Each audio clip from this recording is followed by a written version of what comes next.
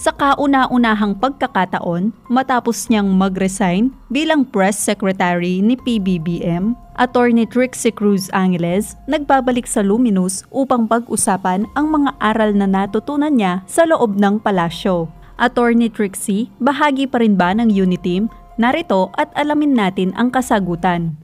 Uh, yes, today I was reinstated dito sa Luminous. Meaning, pwede na ako po uli mag-live. Missed everybody here. I see so many comments saying na na-miss ninyo ako. Uh, and believe me, ako din, na-miss ko po kayo. I mean, this is the communication that just goes one way. I miss your comments. I miss your chika. I miss all of these pero we had to take some time para magserbisyo sa gobyerno. Pa, pasintabi lang po, I cannot and I will not talk about uh, controversial matters pertaining to my service in government because I don't think it will help.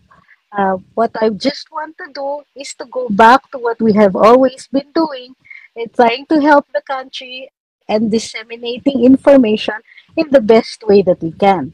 I'm not saying that I won't make mistakes, as since we all do. Sometimes there are human failings, even in the things that we know.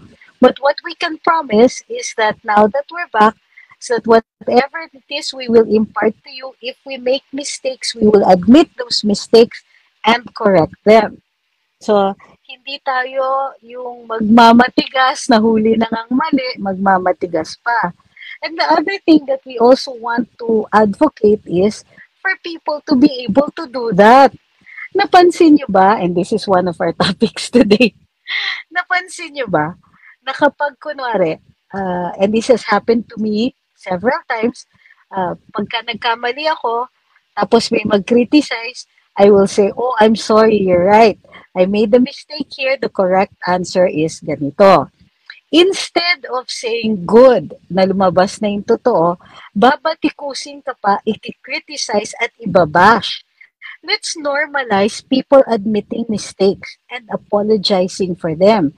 That way, we're, you know, we don't dig in. We don't make people dig in out of pride.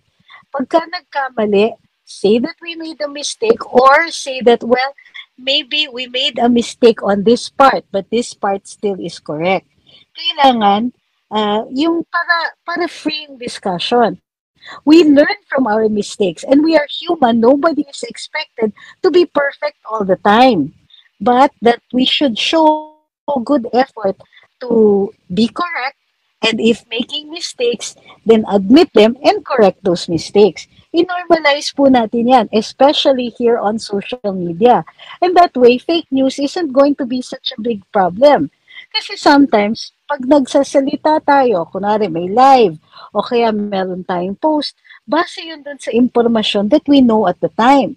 And sometimes that information is either disproven or will sometimes or uh, alters later on. So for example, we talk about an attempted hostage taking. What information comes out, sometimes we will issue commentary on that or explain uh, some of the factual information, later on may lalabas, updated na, meron ng mali dun sa sinabi natin. So, let's normalize adapting to that. Oh, kanina our information was this.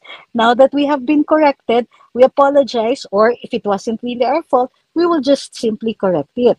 This way, it doesn't become a hit or miss, an all or nothing approach uh, yung ginagawa natin ganito is part of what we call a national conversation. Nag-uusap-usap tayo pa, tungkol sa gobyerno because we are participating in government.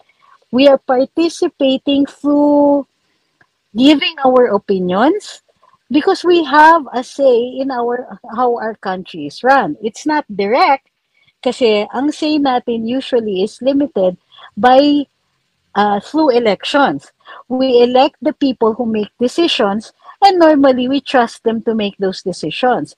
But since those people are never going to be perfect, and when they make mistakes, it is up to us, it is our duty as citizens to call that out.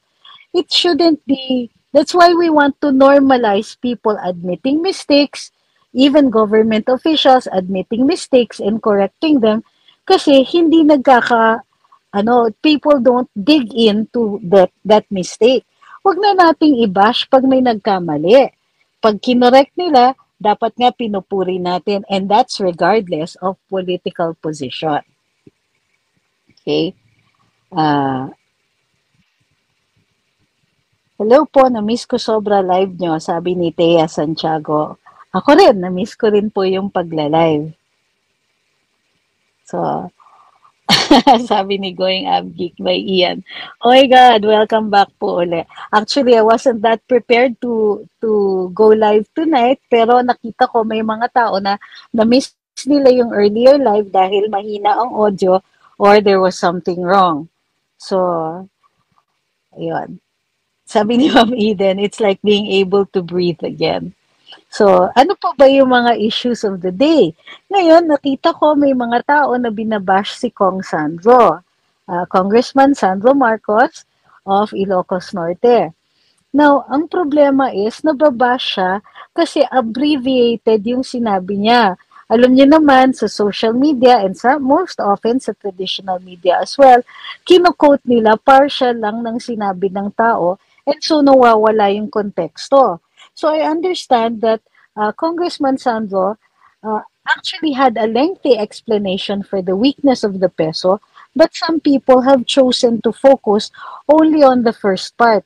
And that is as much fake news as it is to give wrong information.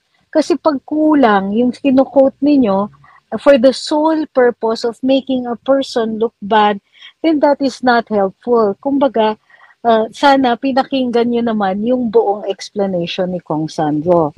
So, I think we should also normalize this to understand the context of what a person is saying.